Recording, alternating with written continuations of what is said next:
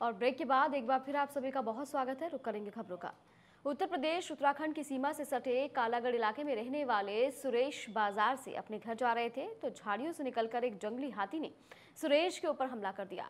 हाथी का हमला इतना ज़बरदस्त था कि सुरेश ने मौके पर ही दम तोड़ दिया। सुरेश के परिजनों को जब इस बात का पता चला तो परिवार सहित पूरे इलाके में दहशत का माहौल पैदा हो गया।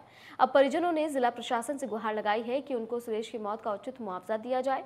वहीं हाथी का वीडियो भी सोशल मीडिया पर वायरल हो रहा है। अनुमान लगाया जा रहा है कि हो सकता है कि ये वही हाथी हो जिसने सुरेश को मौत के घाट उतारा है। पुलिस ने सुरेश के शव को कब्जे में लेकर पोस्टमार्टम के लिए भेज दिया और आगे की कार्रवाई शुरू कर दी है। तो बिजनौर की तस्वीरें आप देख रहे हैं, जहाँ पर जंगली हाथी का आतंक जो है, वो देखने को मिला है, जहाँ पर जंगली हाथी के हमले से एक युवक ने दम तोड़ दिया है। परिवार का रो रो कर बुरा हाल है। साथ ही परिवार का कहना है कि उन्हें उचित मुआवजा चाहिए।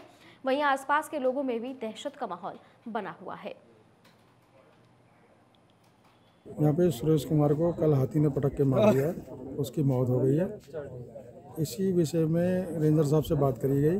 उन्होंने कहा, जो भी मुआवजा इनके लिए बनेगा, वो मुआवजा इनको दिया जाएगा और हम अपनी तरफ़ से पूरे प्रयास करेंगे कि इनको उचित मुआवजा दिलाया जाए। दो 2022 को नई कॉलोनी कालागढ़ के निवासी श्री विजेंद्र सिंह द्वारा सूचना दी गई थाना पर कि उसके चाचा को हाथी के द्वारा घायल करने से मृत्यु हुई है। इस सूचना पर मैं एसओ उमेश कुमार, मैं फोर्स के घटनास्थल पर आया।